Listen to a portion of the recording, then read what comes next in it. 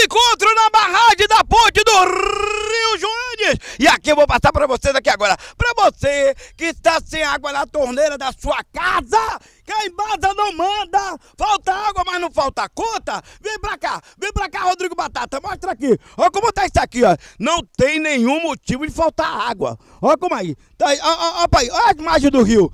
Se subir mais uns cinco palmos, vai bater lá em cima. Vai pra tudo aí, ó. Tá cheio. Tá cheio. Tá cheio, pode olhar ali, ó. Pode olhar, onde nós nos encontramos aqui, na barragem do Rio João. Essa é a ponte foi construída nos anos 50, que até precisa de uma manutenção, né, dona Embasa? Veja aí como a dona Embasa não tá prestando atenção. Chama, dona Embasa.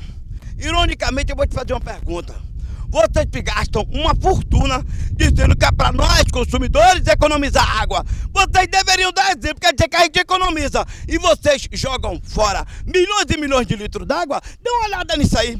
Olha o fragante que eu peguei aqui, perto da barragem. Olha essa tubulação. Olha eu, tomando, olha eu lavando o rosto. Olha eu jogando água para o ar. Imagine quantas águas, quantos litros d'água, sabe, não são derramados diariamente nesta localidade nos encontramos aqui na LFTV, porque só na LFTV é que você vai ver, tá? Na LFTV a gente se vê direto de Lauro de Freitas. Continue em nossa programação.